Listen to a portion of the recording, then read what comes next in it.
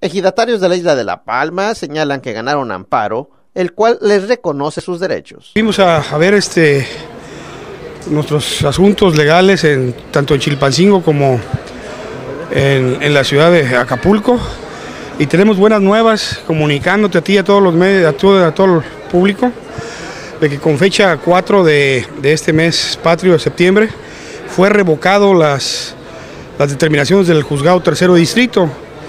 O sea, el juzgado tercero distrito, acordarnos algo del tiempo, nos había desechado dos demandas de amparo.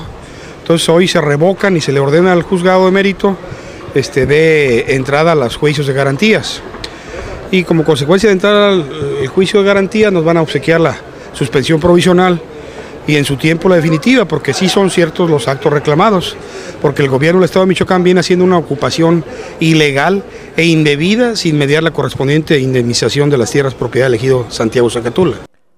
Esto podría echar abajo la desincorporación que realizó el Congreso michoacano. Amagado al Congreso del Estado de Michoacán de Ocampo, porque vamos a demandar la nulidad absoluta de la desincorporación de las tierras de La Palma, porque esa desincorporación está viciada, está llena de vicios, y como consecuencia de vicios, pues es factible su, su, este, su nulidad. Y al hacer ese aspecto, la empresa Kansas City podrá demandar al gobierno del estado de Michoacán daños y perjuicios. Estaríamos hablando de algo fuera de serie, ¿eh? de muchos números. Y afirman que pronto regresarían a sus predios dentro de la isla de La Palma. Y este, hemos estado viendo a todos los actores, tanto políticos como sociales, y gubernamentales para todos juntos construir, construir algo que venga en beneficio de todos.